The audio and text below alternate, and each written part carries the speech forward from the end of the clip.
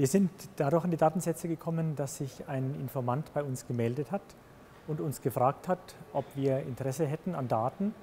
Wir haben gesagt ja.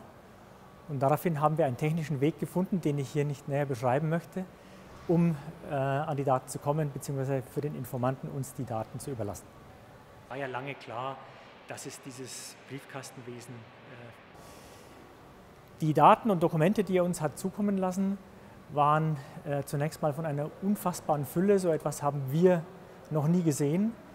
Es äh, sind Dokumente und Daten aus der Anwaltskanzlei Mossack Fonseca in Panama über die Kundenbeziehungen dieser Kanzlei. Aus vielen Ländern der Welt, dass die dabei sind, ich glaube, das ist. Äh es gibt Teile dieser Daten, die sind schon mal in anderen Geschichten, die wir zum Beispiel gemacht haben, LuxLeaks, aufgetaucht. Das heißt, wir hatten einen Teil der Daten auch schon, konnten die also abgleichen mit anderen Daten und äh, es gibt eine ganze Reihe von, von Ermittlungsverfahren und Gerichtsverfahren, die es schon gegeben hat, in denen Daten von Mossack Fonseca bereits eine Rolle spielen.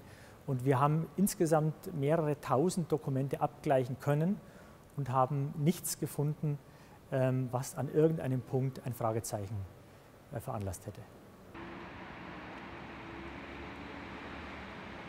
Wir haben uns sehr schnell, nachdem uns die ersten Daten äh, übermittelt worden sind, entschlossen, andere Partner dazuzuholen, in diesem Fall zunächst mal das ICIJ in Washington, weil wir gesehen haben, dass es eine unglaubliche Fülle ist von Daten, die wir alleine überhaupt nicht bewältigen können.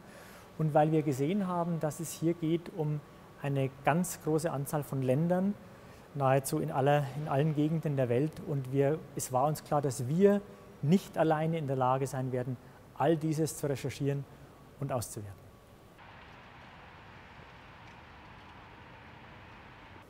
Es gibt eine ganze Reihe von Deutschen, die in den Unterlagen auftauchen, über 1000.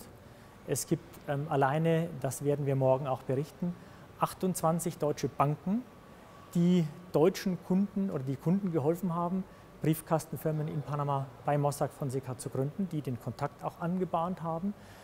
Und so gibt es eben sehr viele deutsche Kunden auch.